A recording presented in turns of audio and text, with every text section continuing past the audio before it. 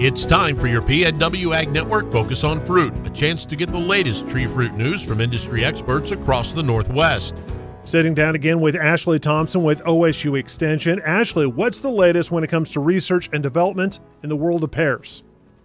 Yeah, what's going on in the world of pears? As many folks will know, with growing pears and pear rootstocks, we don't have a really good dwarfing pear rootstock, and most folks are still using Old Home by Farmingdale 87 and 97. And many folks want to move to tighter spacings and higher density plantings. Um, and it's difficult to do that with those uh, rootstocks 87 and 97. I won't say it's impossible because there are some folks that are doing a really lovely job and getting great fruit off those trees when they use some very um, intricate pruning and training systems. However, there are some other rootstocks that are available. They're not yet commercially available.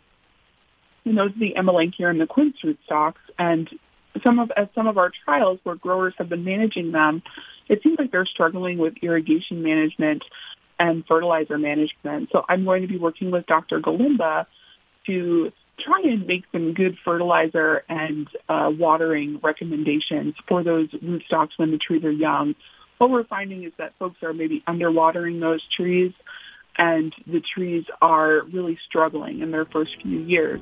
And we want to make sure that we're growing big, strong, healthy trees in those first few years so we can get fruit off of them as quickly as possible. For the latest tree fruit news around, visit pnwag.net and click on the tree fruit tab.